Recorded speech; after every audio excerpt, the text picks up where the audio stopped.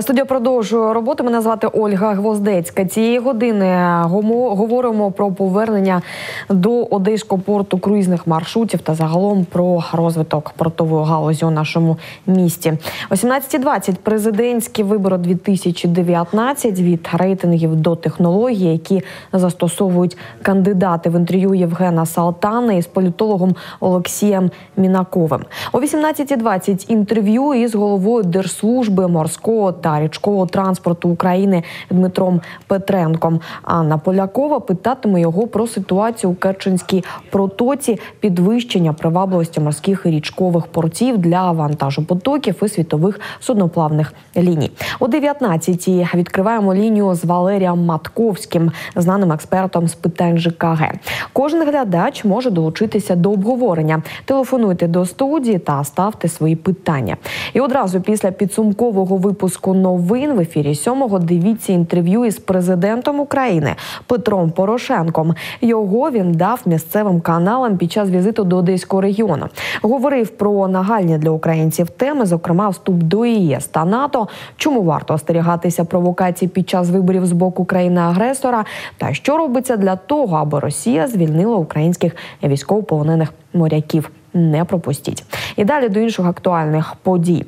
Планова перевірка паркування батьків біля школи у Чорноморську випадково виявила п'яного чоловіка, що на елітному позашляховику привіз на навчання школярку. Недисциплінованих водіїв контролювали. Тамтешні патрульні разом із активістами нетверезого автолюбителя виявив, виявити їм вдалося за збігом подій. Давайте подивимося.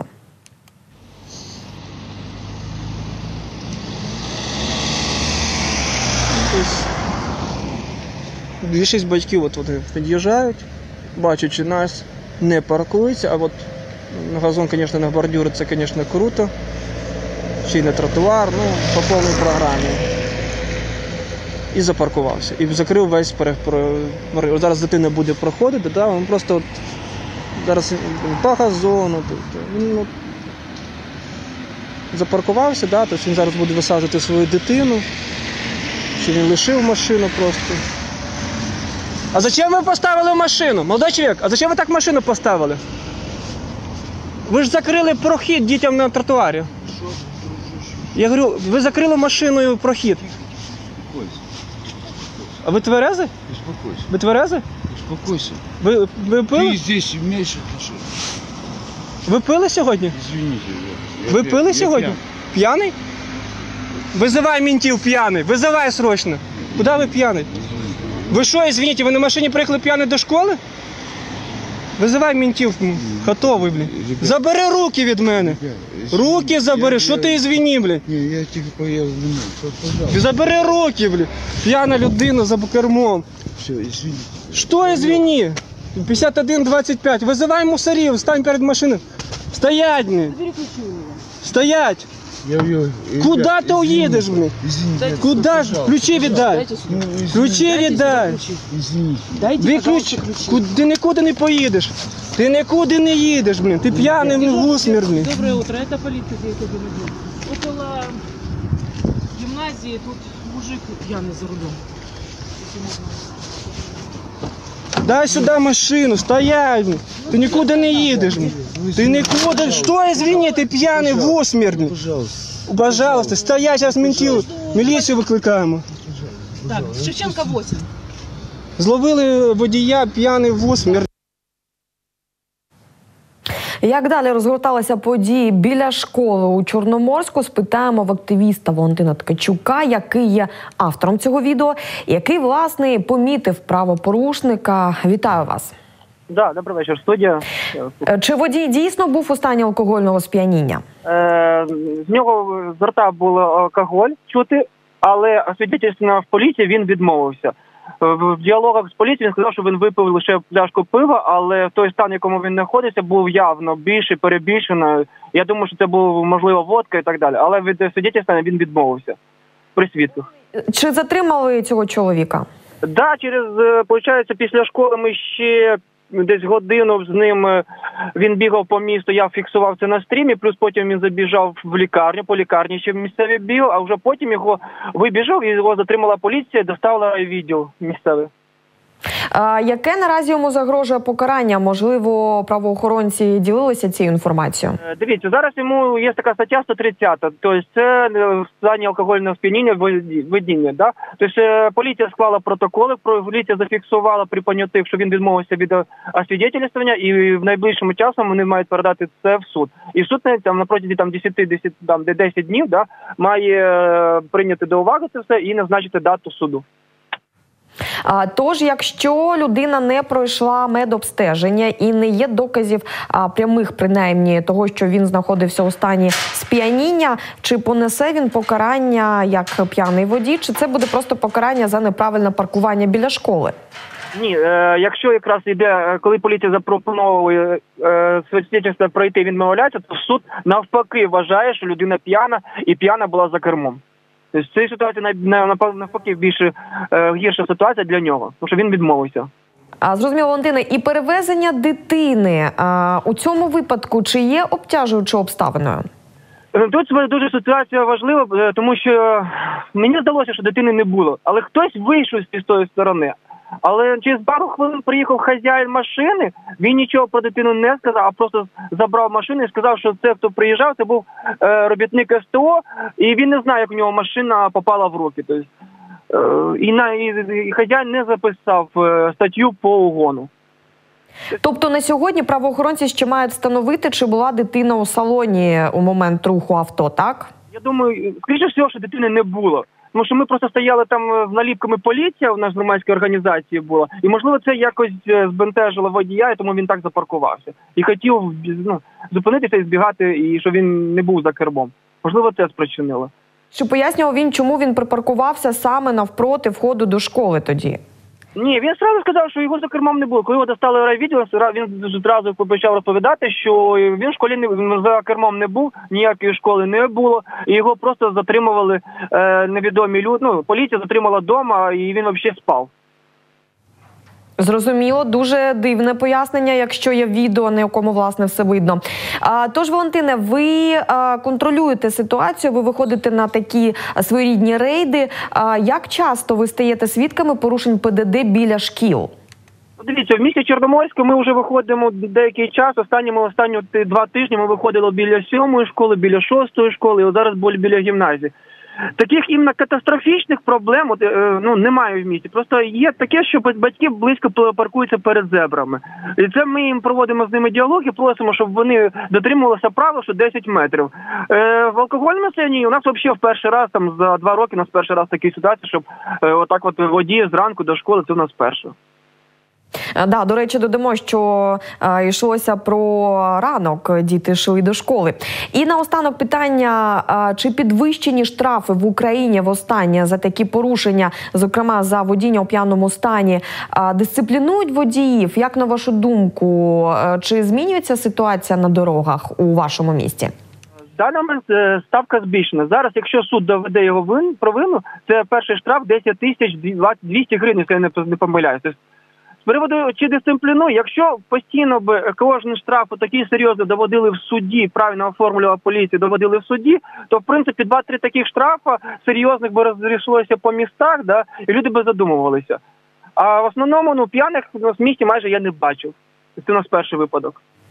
Дякую вам, Валентине, за роз'яснення. Говорили про ситуацію, коли активісти разом із правоохоронцями затримали нетверезого чоловіка біля школи у Чорноморську. А от яка ситуація з паркуваннями та висадкою дітей біля одеських шкіл? Ми спитаємо у голови прес-служби управління патрульної поліції в Одеській області, Алли Марченко. Вона також з нами на телефонному зв'язку. Алло, вітаю вас. Добрый вечер.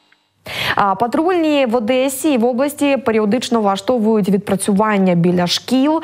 А, Тож, коли де було останнє? А буквально на прошлой неделе мы проводили подобную работу в школы Приморского района. Мы находились на проспекте Гагарина, где находятся два учебных заведения. Это 35-я школа и школа-интернат номер два. А, Основной акцент э, – это соблюдение правил дорожного движения родителями, а, детьми, в особенности родителями, которые приводят, привозят детей в школу. А, Что было замечено? То есть одно из э, нарушений – это нарушение правил парковки, порой на пешеходном переходе. Спешка, соответственно, этим и пытаются э, как бы себя обелить водители. Что касаемо родителей и пешеходов, то это переход дороги в неустановленных местах. Опять же, они могут быть э, водителями, то есть подъезжают, останавливаются напротив школы и позволяют ребенку перейти дорогу, либо переводят его в неустановленном месте, что, собственно говоря, подвергает опасности малыша, ну и, собственно говоря, показывает негативный пример. Під час таких відпрацювань ви штрафуєте чи тільки проводите роз'яснювальні бесіди? То, что мы сейчас э, начали проводить эти рейды, это профилактика. В крайних случаях, в крайне редких э, э, штрафуем водителя, это когда уже действительно грубое нарушение. В основном это профилактика, плюс к тому же мы разработали наклеечки дорожных знаков, которые обращают внимание водителей и родителей на соблюдение правил дорожного движения и вручаем эти наклейки. А Что касаемо нарушений, которые, при которых мы штрафуем, были подобные случаи. Это школы, которые расположены возле магистральных улиц. И одно из э, грубых, страшных нарушений, которые допускаются со стороны родителей, это высадка детей а, со стороны проезжей части. То есть пешки останавливаются на дороге и позволяют ребенку самостоятельно выйти с задней левой двери. При этом ребенок выходит, затем он достает рюкзак, берет свои вещи и уходит в школу. Опять же, идет он по проезжей части, выходит он на проезжую часть. А, подвергается опасности прежде всего ребенок, и порой это создается аварийная ситуация для других участников дорожного движения. То есть за подобные случаи составлялись э, а, административные постановления и выписывали штрафы. Е, Алло, минулого року була складна ситуація біля Рішелєвського ліцею. Там батьки вимагали влаштувати а, пішохідний перехід зі світлофором. А, чи сьогодні в Одесі є такі складні місця біля шкіл або садочків, а, де треба облаштовувати розмітку чи встановлювати додаткові світлофори? А Что касаемо нашей стороны работы, то обследование территорий, прилегающих к школам и дорог, проводятся э, несколько раз в течение года, в особенности в, перед началом учебного года, то есть в августе месяце. И э, мы предоставляем рекомендации о том, что необходимо сделать, либо что ли ну, нужно устранить. То есть это установка знаков, установка светофорных объектов, либо установка ограждений. И затем уже комплексно это отрабатывается а, службами города.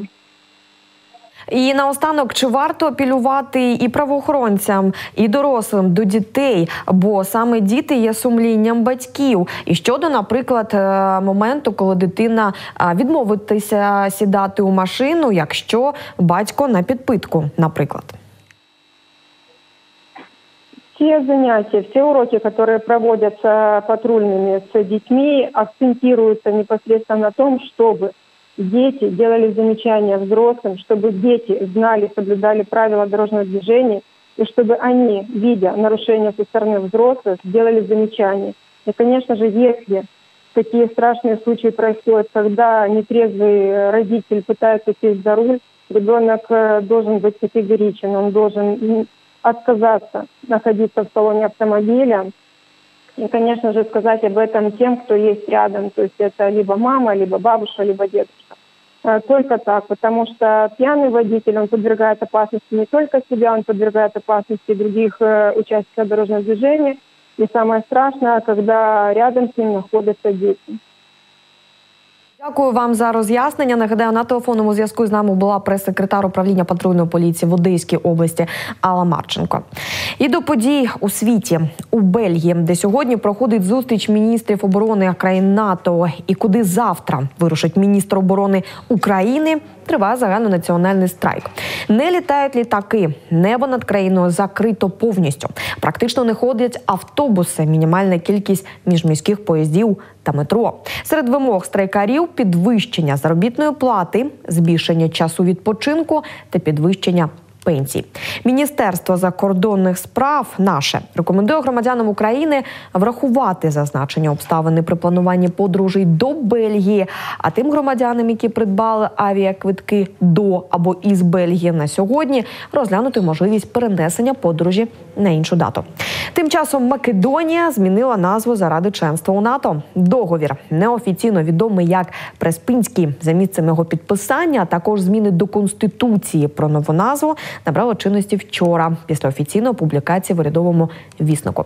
Нагадаю, у Брюсселі 6 лютого відбулося урочисте підписання протоколу про приєднання Македонії до НАТО. Вступ країни до оборонного альянсу став можливим після того, як вона владнала понад чвертьстолітні суперечки щодо назви із членом альянсу. Грецію Афіни вважають, що назва Македонія може спричинити територіальні претензії щодо одноіменного грецького регіону, який межує з колишньою Югославською республікою. Тому греки наполягали на зміні назви країни сусіда.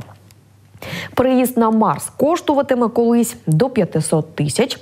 Або навіть 100 тисяч доларів. Таку думку висловив Ілон Маск. За розрахунками творця SpaceX, пересічні американці зможуть продати будинок на землі і перебратися на червону планету. Як вказують при цьому журналісти із посиланням на сервіси з оцінки нерухомості, середня ціна американського будинку нині 224 тисячі доларів. У листопаді Маск оцінював свої шанси перебратися на Марс у 70%. В інтерв'ю для документального проекту HBO він розповідав, Марс не буде притулком для кубки багатіїв, а порівняв тяжкі умови планети з епохою підкорення Антарктиди. Навіть якщо поселенці успішно дістануться місця призначення, їм доведеться витрачати весь час на будівництво бази і виживання. Крім того, гарантувати зворотну дорогу практично неможливо.